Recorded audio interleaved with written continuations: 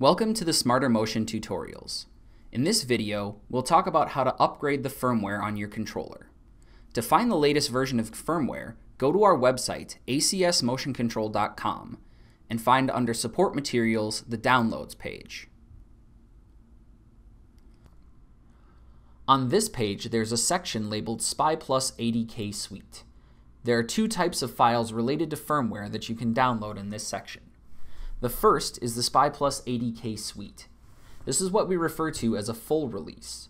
It contains the MMI Application Studio, which is the software that's required to upgrade the controller's firmware. This software is also used to set up and tune your system, as well as develop your application code. The other type of file found here is a firmware release. These files are released in between full releases and contain things like new firmware versions, as well as updates to the MMI Application Studio and documentation.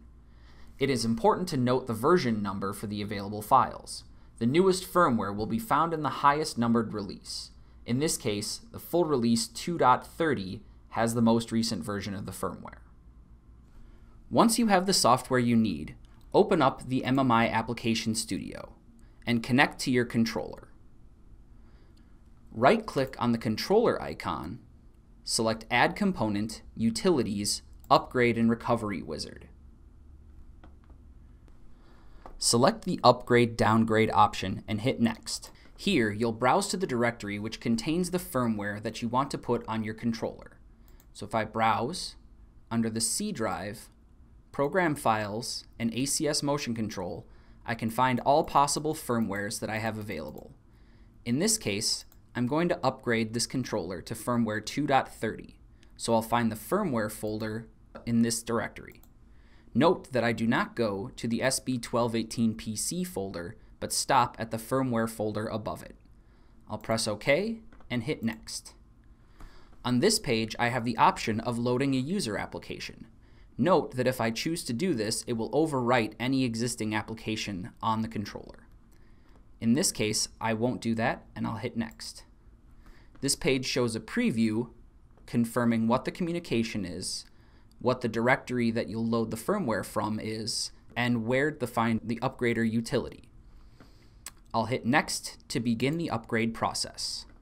Note that this process will take a few minutes.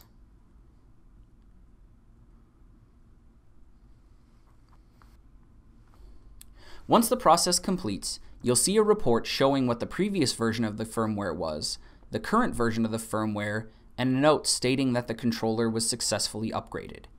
Now that the upgrade is complete, you can press Finish and go on to developing your application.